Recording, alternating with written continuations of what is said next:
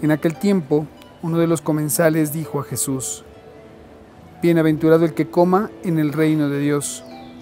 Jesús le contestó, un hombre daba un gran banquete y convidó a mucha gente. A la hora del banquete mandó a sus criados avisar a los convidados, venid que ya está preparado.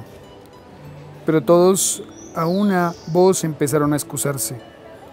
El primero le dijo, he comprado un campo y necesito ir a verlo, dispénsame por favor. Otro dijo, he comprado cinco yuntas de bueyes y voy a probarlas, dispénsame por favor.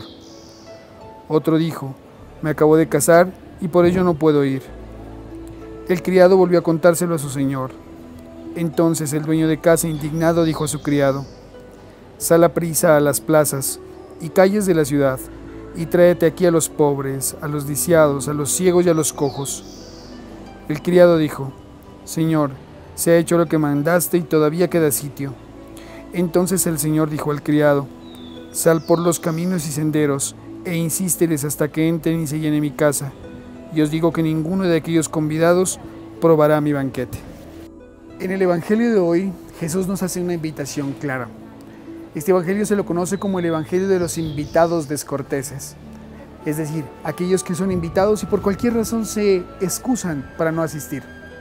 Jesús compara esto con el reino de los cielos, porque usted y yo estamos invitados desde siempre a el banquete celestial, pero para llegar a ese banquete celestial hay que escuchar el llamado de Dios.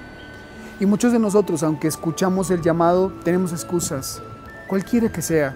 Soy muy joven, ya estoy muy viejo, tengo algunas otras responsabilidades, no soy tan malo, yo no he matado a nadie, yo no he robado a nadie, yo no he hecho nada malo.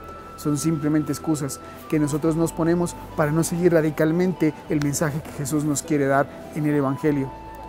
Es una sola la razón, somos todos invitados pero al ser todos invitados, nosotros tenemos la responsabilidad de una respuesta adecuada a Dios. ¿Cuál es nuestra respuesta? Pidámosle a Dios la gracia de tener una respuesta asertiva, de tener un sí rotundo a la invitación que Dios nos hace todos los días.